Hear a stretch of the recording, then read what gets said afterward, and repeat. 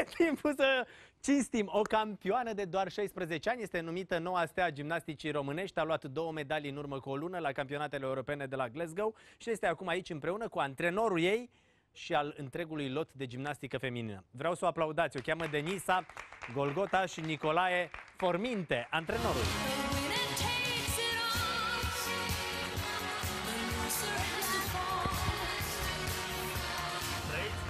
Să trăiți Numai un pic, am stricat microfonul. Ah, te rog frumos, stai așa să aranjezi microfonul ca să se aude bine. Campioano, te rog frumos să iei un loc.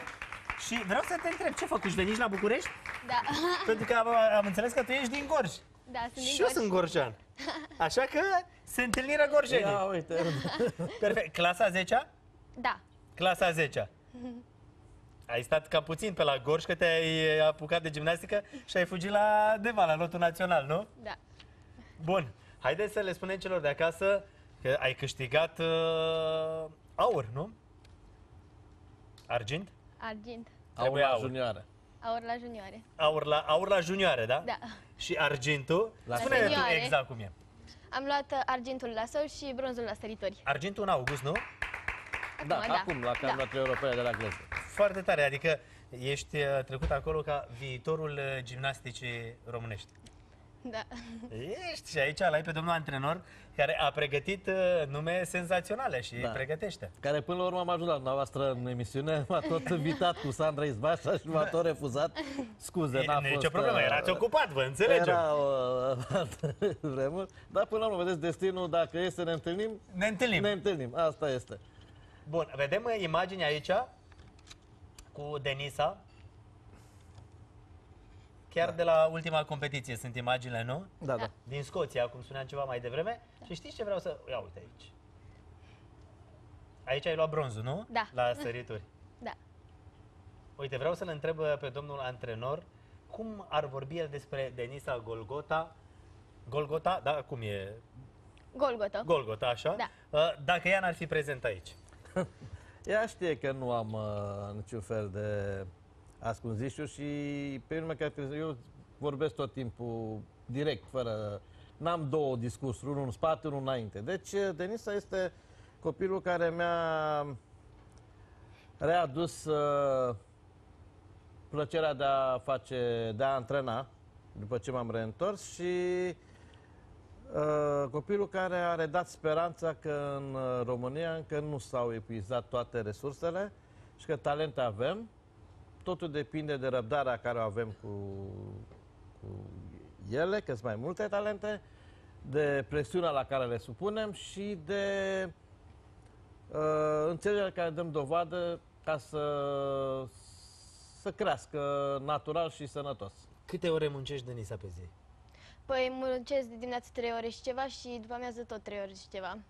Mm, Adică jumate din zi înseamnă antrenamente. La Cam cam așa. șapte ore. 7 ore, cam pe acolo. Și practic ești în cantonament la Deva în toată perioada anului. Da.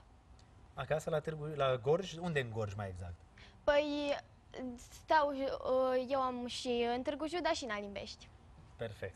uh, și acasă mai mergi? Uh, mai merg, mergem în vacanță, uh, de Crăciun de obicei. Și cu școala, cum e? Ai timp? Da, merge bine. Care ar fi așa obiectivele tale viitoare? Pentru la anul. Da, pentru anul sau pentru următorii 5 ani, știi cum e? Sau nu poți să te Păi, gândești așa uh, departe? Obiectivul meu de când am venit la gimnastică a fost să iau o medalie olimpică. Și 2020, nu? Da. și um, pentru 2019 primul meu obiectiv, ca să zic așa, e să fiu sănătoasă și să-mi fac exercițiile cât de bine pot și dacă îmi fac exercițiile mondia- la mondiale să prind și niște finale. Foarte frumos, ai niște ambiții foarte înalte așa și sper din toată inima să le îndeplinești Doamne și ajută! să reușești acolo. Dar cu domnul antrenor sunt convins că o să meargă Eu treaba am bine. să o susțin cât, uh, cât voi putea. De mult, uh, totul depinde de nivelul ei de ascultare, ca să zic așa, și de acceptare. Pentru că nu e ușor să accepti, să se spună acolo parcă se putea puțin mai bine, deși tu ai convingere că ai dat maximul din tine. Și uite, pe ăsta niciodată nu-i mulțumit. Dar când uh, e medalia, atunci și săr de gâtul antrenorului de bucurie și el ia în brațe fericit, atunci toate aceste mici tachinări din antrenament uh, se, se explică, se justifică. Dumneavoastră aveți un palmares uh, remarcabil. 25 de medalii la mondiale, 16 olimpice, Da, le-ați numărat. europene vreo 85 și am făcut așa un calcul sunt peste 150 de medalii. Sunteți Nu cetățean de onoare și la Constanța și la Deva și în același timp uh, Nicolae Forminte, antrenor, a fost decorat și de trei președinți. Da. Eu am încercat să fac treaba cât de bine posibil. Așteptăm uh, cel de-al patrulea președinte să vă decoreze. E mai greu acum, că s-ar părea că interesul față de sport e Da, tot acum mai vreau să vă întreb, sunteți mare. cumva cel mai decorat antrenor de, Nu, nu. de sport? Nu, nu. Sunt colegii mei, Belu Bitang, Da. uh, cam ăștia sunt înainte, așa. Aceia mea sunt Goreac, dar Da. nu neapărat Decorațiile acestea vin și cu vreo rentă, cu vreo Nu, nu, recunoaștere nu, financiară nu, sau sunt nu, doar nu. pur și simplu Pur și niște sim- diplome și Uh, atât? nu vreau să fac o glumă să sinisă, dar am impresia că ai nevoie să cântă fanfara când, când pleci acolo sau să ai gardă militară, ceva în genul ăsta, nu știu exact care sunt beneficiile. În rest nimic, nu? În rest nu prea... În rest nimic. Că mă gândesc la câte performații, câte medalii ați adus pentru țara asta, ar fi frumos să aveți așa lună de lună Să- o mică atenție din partea statului. Pentru că Da, pe există lângă toate pentru aceste antrenorii- diplome care înseamnă recunoaștere, să fie și o Nu, ca recunoaștere să fiu financiară. corect, există o bursă de merit pentru antrenori după vârsta de 60 de ani, pe care aștept și eu cu speranță să fie acordată. Cât mai aveți? Păi am trecut de 60, Păi de și un de an ce de nu-i zile burta? tot aștept. De ce nu-i bursa? Asta nu știu de ce n-a venit încă. Mai mă De așteaptă. nu-i burta, bursa. Aveam flori pentru tine Mulțumesc. și am vrut să ți le dau Burta a acum venit. la Mulțumesc finalul. Dumneavoastră scăpați ușor de ea dacă trebuie. La mine e mai greu. Asta este, da. Vă mulțumesc mult de tot, Și domnule noi vă Nicolae mulțumim. Forminte. Denisa, multă baftă și în 2019 și în 2020. Să fie Și- mulțumesc. Baftă să ajungi la Tokyo, nu? Da, Că să-ți îndeplinești visul să iei medalia olimpică. da. da Vă să mulțumesc fiți mult de sănătoși. tot. Noi vă Ne mulțumim. mulțumim. Și vă mai așteptăm cu mare drag. Da, și noi vă urmărim Vă mulțumesc emisiunile mult. cu drag.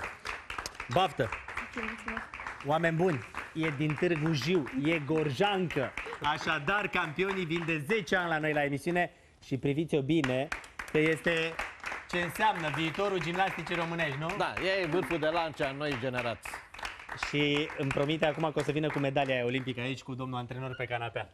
Da. Până atunci o să am și o cămăruță, o să am și o țuiculiță. Cămăruța, da, da. Mai aici. Vă mulțumim mult de tot!